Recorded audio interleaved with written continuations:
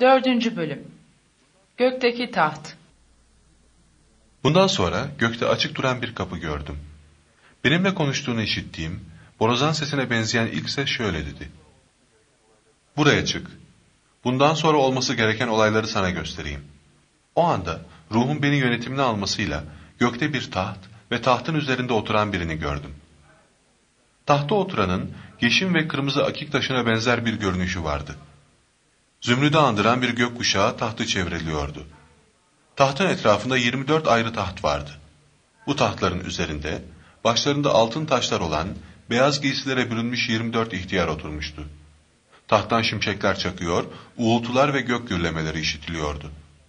Tahtın önünde alev alev yanan yedi meşale vardı. Bunlar Tanrı'nın yedi ruhudur.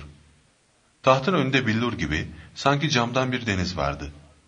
Tahtın ortasında ve çevresinde önü ve arkası gözlerle kaplı dört tane canlı yaratık duruyordu. Birinci yaratık aslana, ikinci yaratık danaya benziyordu. Üçüncü yaratığın yüzü insan yüzü gibiydi. Dördüncü yaratık uçan bir kartala benziyordu. Dört yaratığın her birinin altı kanadı vardı. Yaratıkların her yanı, kanatlarının alt tarafı bile gözlerle kaplıydı. Gece gündüz durup dinlenmeden şöyle diyorlar.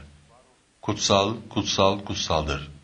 Var olmuş, var olan ve var olacak olan, gücü her şeye yeten Rab Tanrı.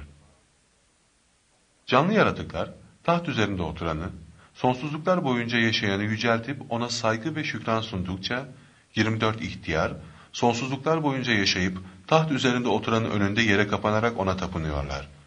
Taşlarını tahtın önüne atarak diyorlar ki, Rabbimiz ve Tanrımız, yüceliği, saygıyı ve gücü almaya layıksın.